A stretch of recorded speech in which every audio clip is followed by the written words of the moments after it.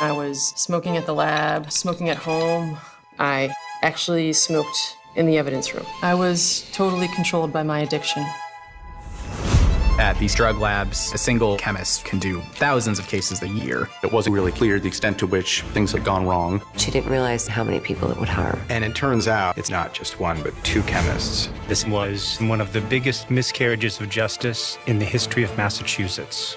All these convictions needed to be wiped away. When you're investigating somebody who's tampered with evidence, the scope of this could be very large. It's amazing the ripple effect of a single person's act. These allegations do not implicate any system wide practices. How do you come out and make a statement that no one's been wrongfully convicted? How do you know? You just assume they're doing their job unless you're told otherwise. This isn't just a scandal about bad science, it is a scandal about bad law.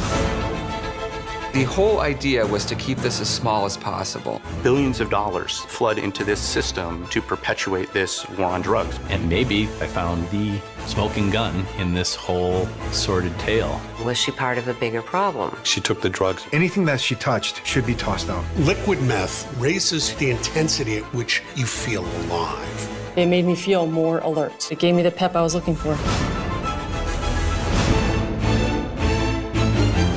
Your job isn't to contain it, it's to figure out how are we going to do justice.